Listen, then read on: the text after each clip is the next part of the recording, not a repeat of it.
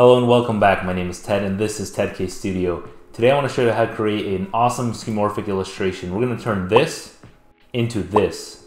So let's jump into it. Just to understand what skeuomorphism is, it's essentially taking something and recreating it as it would be in real life in the digital format. So a while ago, iPhones used to look like this. Everything had textures, depth, layers, like you can see from this settings icon here, how it's layered. It has these textures. Um, this paper has like a torn texture and skeuomorphism back then was heavy and it went away for a while. Now it's making a comeback and I'm seeing more and more people post it, but it seems like they've made it a little bit more tasteful and a bit more exciting. So I want to show you how to create your own skeuomorphic icons, skeuomorphic illustrations. All you need to know is the basics and once you got that down, you can make anything you want. To demonstrate this skeuomorphic design, I'm going to use the Cash App icon here and we're going to add dark shadows, we're going to add gradients and highlights to this and we're going to create that skeuomorphic look. So the first thing I want to do is add a gradient to this backdrop here and I'm going to select this and I'm going to add a linear gradient from the top to the bottom and what we want to do is we want to make the bottom here a little bit lighter and the top a little bit darker. The next thing we're gonna do is we're gonna add effects. So I'm gonna go to the effects panel here on the right and I'm gonna create an effect and it's gonna create a drop, drop shadow by default. So what I'll do is just increase the drop shadow and let's make it 200 blur just so it's nice and spread out and then I'm gonna make the opacity lighter and you never want to use a solid black drop shadow you want to use a off color because uh, solid black drop shadows tend to be muddy like you can see here for example. Whereas if we use some of the color like a darker green it'll look a little bit better. So what I want to do is just make this about 50% opacity. And the next thing I'm gonna do is add another effect in the effects panel. This time is gonna be inner shadow. Like I mentioned in the beginning, highlights and shadows is really how you make the skeuomorphic look. So what I'm gonna do is I'm gonna create this inner shadow and then I'm gonna increase the blur to 50. I'm gonna make it white, not black. And we're gonna actually make it an off green color, like a very light off green color. And then what I wanna do is increase the Y axis to make it go down a little bit more. We're gonna do plus 40 and I'm gonna play with opacity here to make it not as strong at the top there.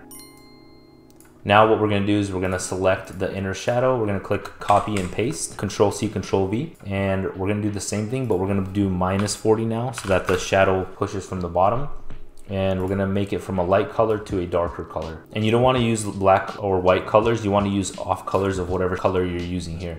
So for example, this is a green color, so I'm gonna use like a darker green. And you can see how I've added this inner shadow on the top and the bottom, how it's already giving this rounded effect to the app tile background. From here, we're really just adjusting and playing with opacities just to make sure it looks right. Also, the reason why we made that linear gradient in the background is so that whatever shadow we apply to the top or bottom really has a contrast to the color. So for example, if I make this darker, well now that shadow isn't as vibrant or visible at the bottom there. Whereas if it's a lighter color, you can really see it and have it stand out. So I, I really like the bottom here. I think this is looking great. I just wanna see what I can do for the top here. And I think just increasing it might help.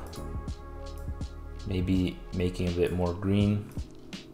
I think that's looking pretty good. So now that we got the main icon backdrop, what we wanna do is apply the same skeuomorphic effect to the cash icon here. So we're gonna start by doing the same process as we did for the background card. So the first thing we're gonna do is add a drop shadow again. So in the effects panel, we're gonna click, it's gonna create a drop shadow. Let's make it larger from four to 40. Let's make the Y 30. And keep in mind, all the numbers depend on how large the object you're working with is. For example, my object is around 533 pixels by 533. So if you're working with a smaller icon, a smaller size, you might need less of these drop shadows and shadow sizes. So just keep that in mind. And let's change this from black to a dark green. And then I'm gonna lower the opacity just so it's not as strong.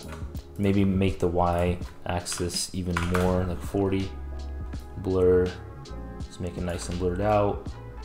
And I think that's looking pretty good. And now we're gonna add another effect. We're gonna change it from drop shadow to inner shadow. Uh, and we also wanna make this cash icon a linear gradient. We're gonna make it from a gray, a bluish gray color to a white at the bottom, full opacity.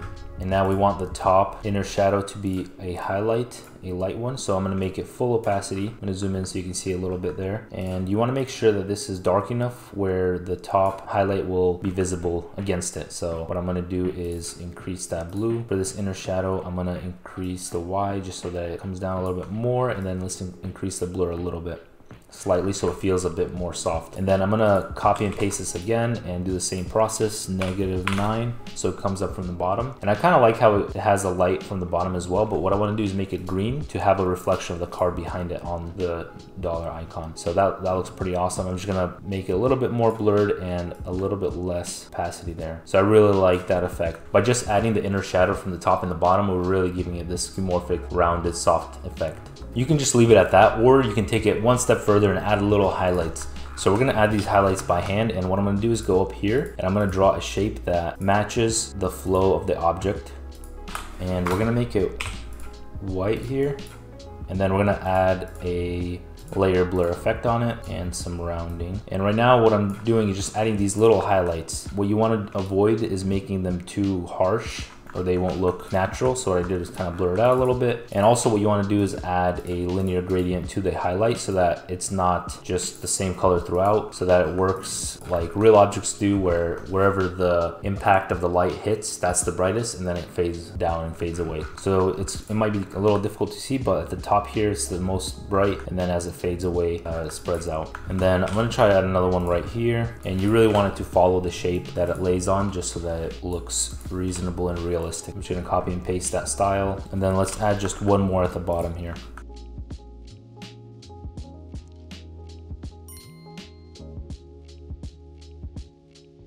So it's these little details that really make it pop and shine. And I'm really liking the way this looks. I think it looks great. The last step is adding an interesting background that complements the design. We can just leave it like this if you'd like, if you really want the colors to pop.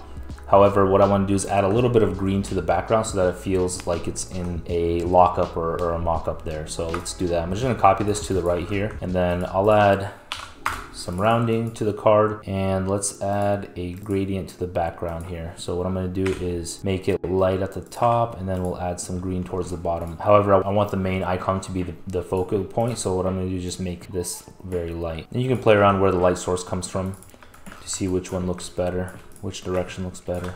Now what I want to do to really make this pop off the background is just apply a drop shadow. We did apply one, but it's not dark enough. So what I want to do is make it a bit darker move it down a little bit more and then pick the right color. You want it dark enough where you can see it on the background, but not dark enough where it competes with this bottom shadow here. And now when we zoom out, it's looking pretty good. I think I might want to make it a little bit lighter, just barely visible there. And now you can see the major difference from start to finish. Let me just uh, erase all of the effects from this one right here.